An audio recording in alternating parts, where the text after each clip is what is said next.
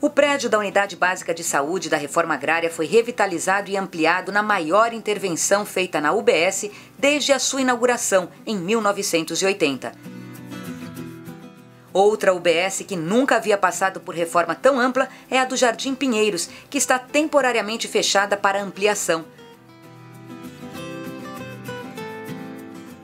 A nova unidade básica de saúde da Vila Itália foi entregue à população no final do mês de agosto, atendendo também os moradores do bairro Santo Antônio e da região central. A obra de adaptação do prédio de 215 metros quadrados da Unidade Básica de Saúde do Frutal também está finalizada e em funcionamento. A instalação de um posto de saúde no bairro já considera o aumento da população em 2019, quando ao menos mais 3 mil pessoas irão utilizar dessa infraestrutura com a entrega dos apartamentos do programa Minha Casa Minha Vida. E para garantir o conforto da população e dos funcionários, a Prefeitura está equipando as 13 unidades básicas de saúde, a unidade de pronto atendimento e o Centro de Especialidades de Valinhos com novos equipamentos de ar-condicionado. Os recursos foram usados para a compra de 102 aparelhos de ar-condicionado, além de cadeiras, armários e mesas.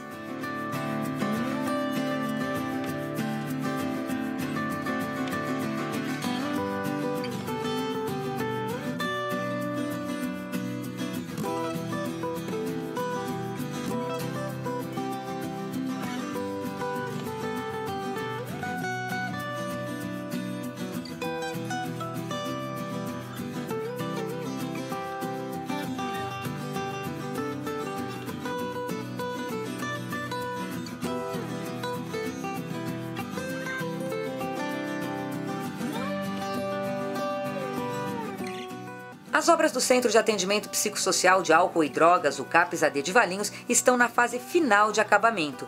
O CAPS-AD vai propiciar uma assistência mais completa no atendimento de usuários de álcool e drogas.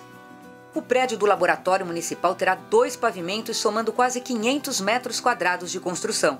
Hoje são realizados 25 mil exames ao mês e o novo prédio vai possibilitar o aumento na quantidade e tipos de exames, o transporte rápido e seguro de pacientes está garantido atualmente em Valinhos por sete ambulâncias, sendo que outras duas estão em processo de licitação. Com isso, a cidade passará a contar com nove unidades, sendo sete ambulâncias e duas UTIs móveis.